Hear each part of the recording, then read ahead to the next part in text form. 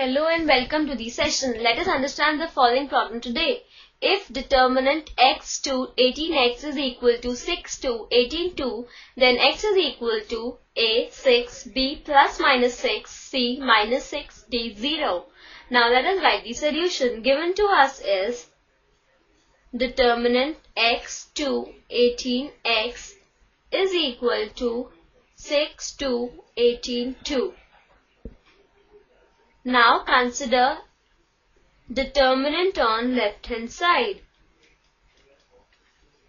which is x to 18x which on solving will give x square minus 18 into 2 which is equal to x square minus 36. Now consider determinant on the right hand side.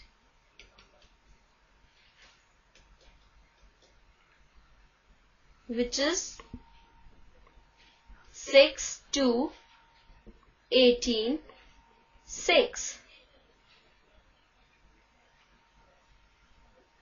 which on solving will give 6 into 6 minus 18 into 2 which is equal to 36 minus 36 which is equal to 0.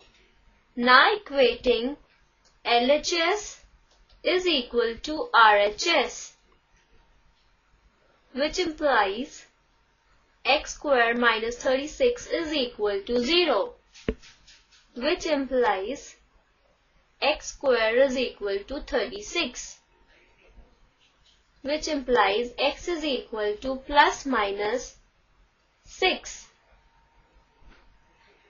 Therefore, we have got x is equal to plus minus 6 and hence the correct answer is B. I hope you understood the problem. Bye and have a nice day.